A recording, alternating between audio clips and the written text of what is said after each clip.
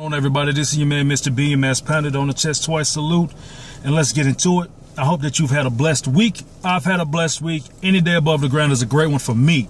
And listen um, I want to thank everybody who continuously they, they watch these videos and and feel as though it is an asset to their life and that it helps them. So I feed off of that energy and you know i'm going to keep giving this positive energy out and you keep giving me that positive feedback and we're going to do this thing together i'm not only going to help lead you but i'm going to walk with you that's what a true leader does and listen um, someone reached out to me and they asked they they made a request to do a video in regards to invisible illnesses and I think that's that was a powerful request. So I'm going to do everything that I can to to speak on this and and pray that it helps you out.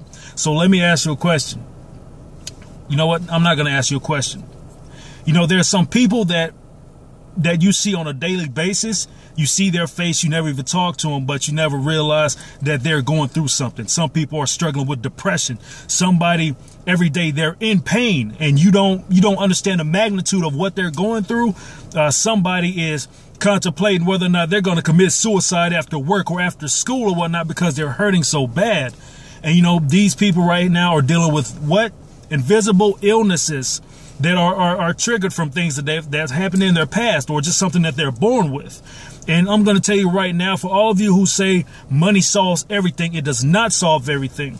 Matter of fact, I saw a video yesterday of a lady who was living in the lap of luxury, the cars, the houses, the money, and everything. You know, she said, I had all of these things, but something on the inside, there was a hole on the inside. Why?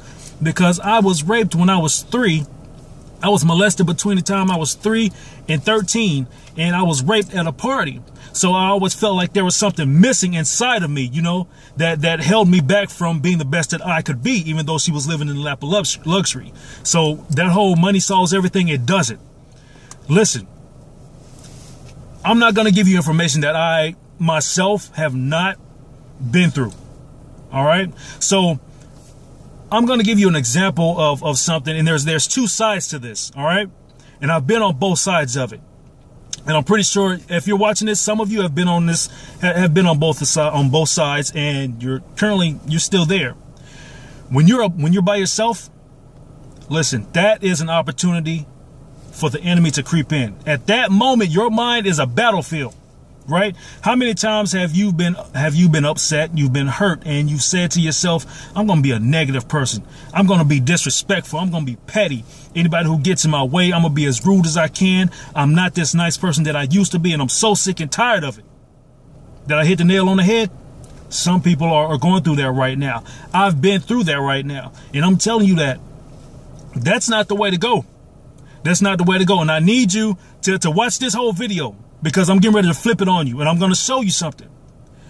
There's also a time where if you're going through something and you need to cry and let it out, make sure you cry and give it to God because he said, I'll, I'll take care of your problems.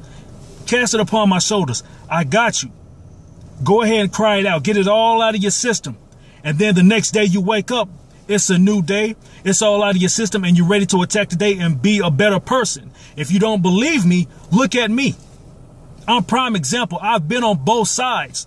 There are some things that I still deal with, but I'm, I'm willing to step into the ring and fight and, and be the best that I can be because I have a family and I'm sure that you have a family.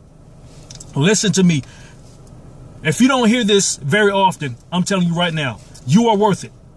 You are worth it. If you're watching this on your phone, I want you to walk to a mirror and I want you to say, I am worth it. And you keep telling yourself that you are worth it. All right? The enemy has no place in your life. You're powerful than what you give yourself credit for. You understand me? You just give it to God, man. So many people out here say that there is no God. If there was a God, then why was I raped? Let me explain something to you real quick. God was there. What if God allowed you to go through this to be an asset to somebody else's life? What if your story is a, is a testimony, is a positive testimony for somebody else? Your pain actually helped thousands of people recover from their pain. You got to get out of this whole thing where you know that God is exist, that, that God exists.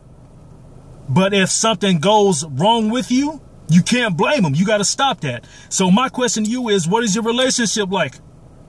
He hears you. He knows what you're going through. And believe me, that person that hurt you, they're going to feel it. They're going to feel it.